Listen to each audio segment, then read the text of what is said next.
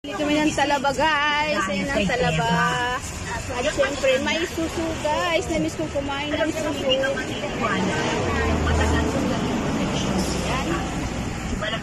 Sariwa guys. Tapos may tahong. Ayan. Namiss kong kumain din ng tahong. Lalo-lalo na itong, itong susu.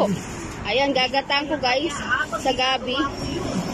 Bumili ako ng makalipas lang ang apat na araw. sarap. Hindi ka na pinambala na nagkakaroon. Sinituloy iba. guys.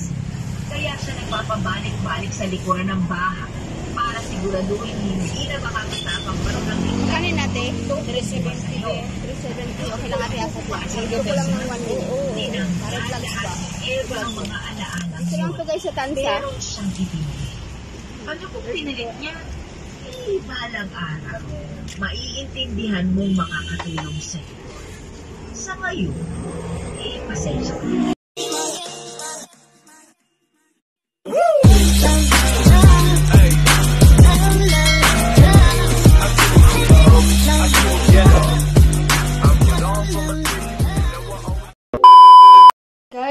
nabili kong, nabili namin na talaba. Ayan.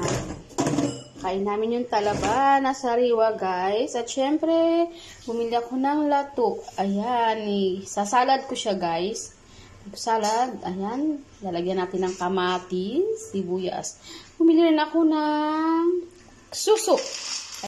Suso. Suso. Ayan. Ito yung na-miss kong kainin, guys. Ito yung suso. Gagataan ko siya. Ibabad ko muna sa tubig para mailuwa niya yung dumi ba. Ayan. Babag natin ng, ma- ng matagal.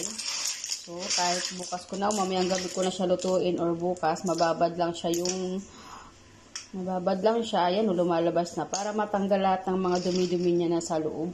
Ayan, tapos gagataan natin, guys. Ayan. Ayan, nabili namin doon sa, malapit sa, doon, malayo. Sa malayo pa eh. Papunta, bumili kami.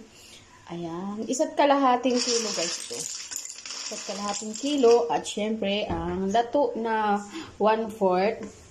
At ito naman, ito. Mura lang siya guys yung talaba. Ayan.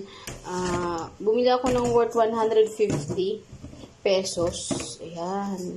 Yung dato naman, nabili ko siya ng 70 pesos. Ito naman na suso, uh, 100 50 guys. Yung yan. Per tabo kasi siya. Yan ang nabili ko. So, ayan, gagataan natin yan. At ito namang lato, isang salad ko. At ito naman to, kakainin natin siya ng hilaw. Pero, kailangan muna natin buhusan ng tubig na mainit to. Pero, bago natin buhusan, kailangan ko muna to guys, linisan. Ayan, brasin ko muna. Ko muna siya para malinis. Ayan.